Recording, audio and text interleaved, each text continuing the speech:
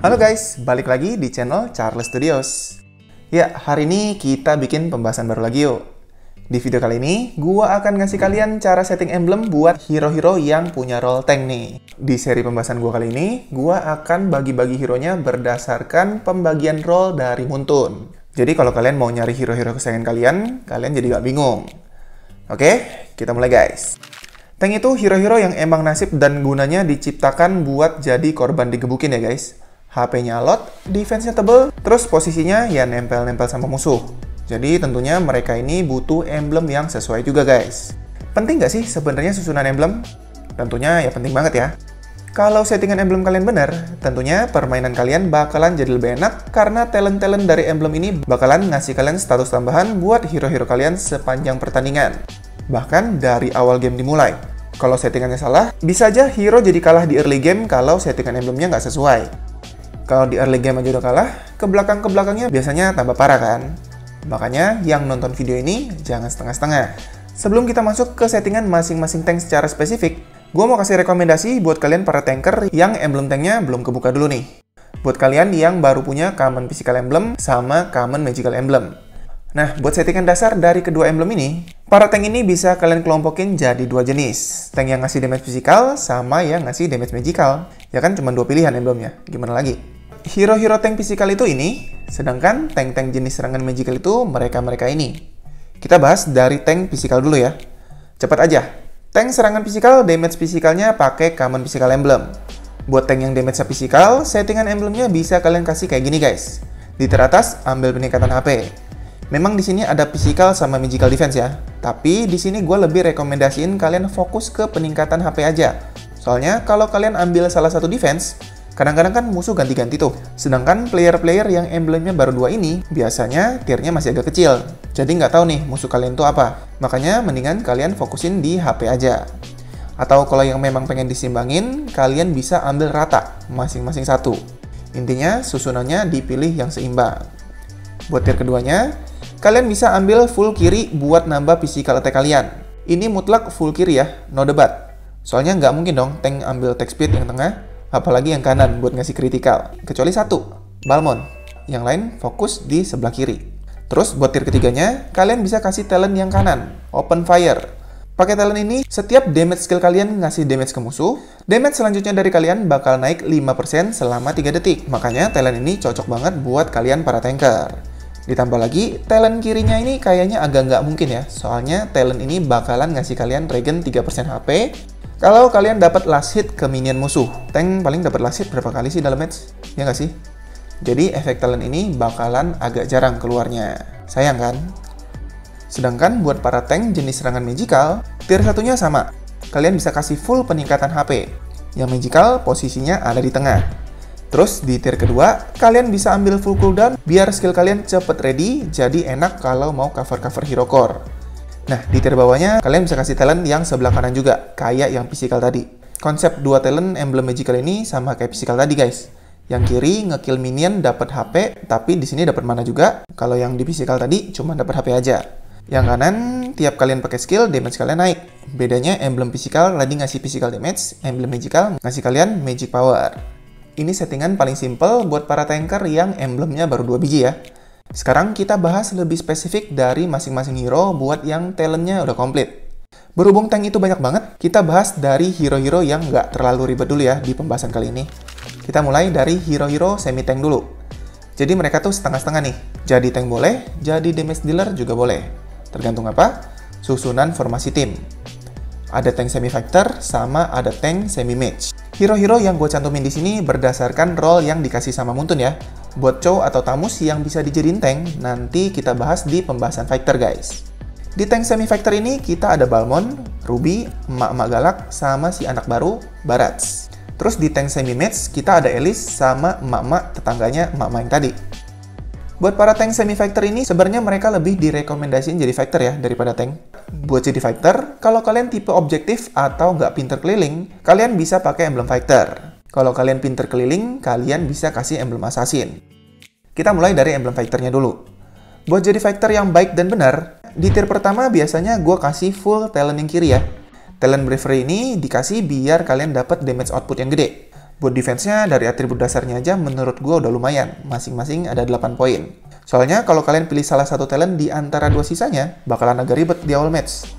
Kalau ambil physical defense, terus ketemunya Guinevere atau Sylvana kan jadi nggak guna. Begitu juga sebaliknya. Soalnya kan zaman sekarang musuh agak susah diprediksi ya. Kecuali kalau kalian bisa pastiin musuh kalian ini jenis serangannya apa. Boleh deh ambil salah satu defense. Nah, buat tier keduanya, balik ke hero-nya. Kalian ini lebih senang main aman apa agresif? Buat yang senang main agresif, kalian bisa ambil full kiri, biar kalian dapat damage tambahan dari physical penetration. Buat yang senang main aman, bisa ambil yang tengah buat ngasih kalian HP yang lebih tebal. Yang kanan jangan ya. Factor-factor semiteng itu getokannya emang udah lelet. Dia ngandelin damage besar, bukan attack speed. Nah, buat tier ketiganya nih yang seru. Buat tier ketiganya ini, kalian harus lihat dari karakteristik masing-masing hero. Sebenarnya ketiga-tiganya cocok ya buat keempat factor semiteng ini. Yang kiri semakin sekarat damage kalian makin tinggi. Yang tengah ngasih kalian spell fam. Yang kanan kalau kalian bikin musuh slow, damage kalian bakalan naik buat satu serangan berikutnya yang bisa ngasilin damage. Dan mereka berempat ini semua bisa ngasih efek slow. Jadi buat emblemnya kalian bisa tentuin lagi sama cara main kalian. Kalau menurut gue sih, yang seneng main aman bisa ambil talent yang tengah. Terutama buat Balmon sama Hilda yang benar-benar lebih ngandelin skill daripada basic attack-nya. Jadi kalau buat talent ini tuh rasanya kayak bawa Bloodlust X dari awal match guys. Terus buat Ruby sama Barats, gue lebih rekomendasiin pakai yang kiri biar makin sekarat, damage kalian makin ganas. Tapi buat Barats, kalau kalian main damage basic attack bakalan lebih efektif ya. Kalau mainnya damage skill, mending ambil yang tengah. Sedangkan yang kanan, gue nggak terlalu rekomendasiin karena peningkatan damage habis pakai skillnya cuman bertahan 3 detik. Terus cooldownnya 10 detik. Jadi buat para fighter-fighter ini agak kurang cocok aja menurut gua. Kecuali Hilda ya, masih oke okay lah kalau memang mau pakai ini. Terus emblem assassinnya. Buat emblem assassin ini, ingat ya, sekali lagi buat yang mainnya agresif, sering rotasi, gerakannya lancar, sama mukil. Buat kriteria ini menurut gue yang cocok cuman si emak-emak komplek ya. Selebihnya rotasinya agak kurang, apalagi early game. Kalau kalian mau kasih emak-emak komplek ini emblem assassin, kalian bisa kasih settingan paling kanan buat tier satunya, biar lari semak makin kencang. Terus buat Hilda ini, tier keduanya kalian bisa kasih talent yang sebelah kiri, biar gebukan dari skill-skill Hilda jadi makin sakit. Terus di tier bawahnya bebas sih. Kalau yakin bisa ngekill, ya ambil yang kiri biar kalian makin kaya, tapi kasihan sama core. Kalau kalian nggak bisa yakin ngekill, atau masih ada belas kasihan sama core, ya kalian bisa pakai yang tengah biar damage kalian makin kenceng pas nyiduk musuh yang sendirian. Atau kalau kalian mau ngasih kritikal ke Balmon di awal-awal match, kalian bisa kasih emblem assassin juga, biar puter-puternya bisa ngasih kritikal dari awal match guys. Settingan talentnya, kalian bisa kasih tengah di tier atas biar cooldown puter-puter gembira ini lebih sering keluar. Tier keduanya dikasih talent tengah biar critical chance-nya makin gede. Terus di tier bawahnya, kalian bisa kasih yang kiri atau tengah, karena Balmon ini lebih sering jadi factor solo, bukan roamer kayak Hilda tadi.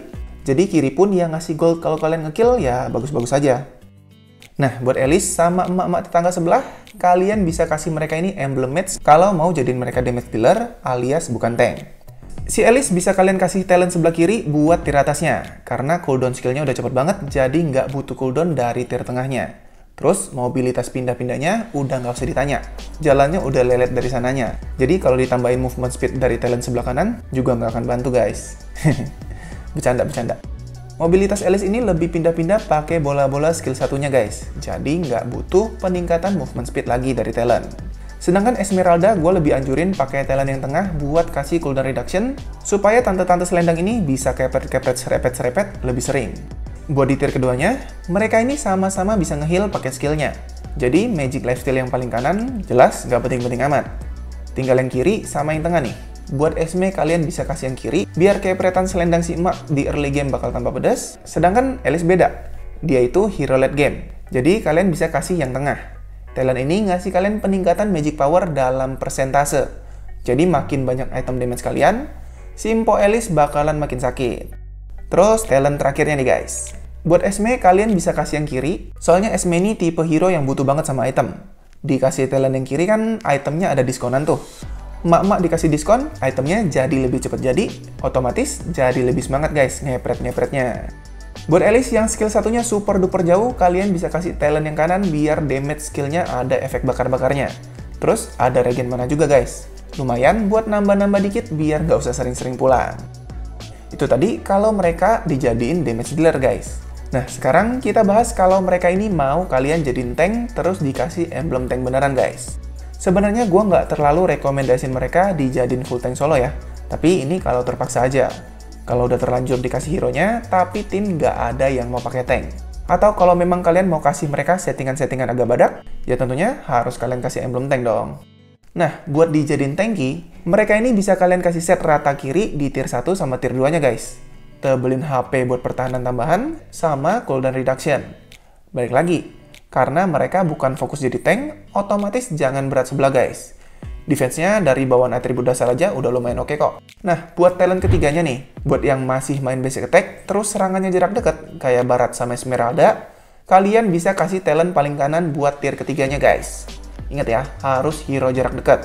Soalnya talent ini bakalan meledak di sekitar badan kalian tiap kalian pakai basic attack per 15 detik. Makin tebel HP kalian, damage-nya makin sakit. Buat yang jarang main basic attack, apalagi buat Alice yang serangannya jarak jauh, jangan ya. Soalnya ledakannya bakalan gak efektif.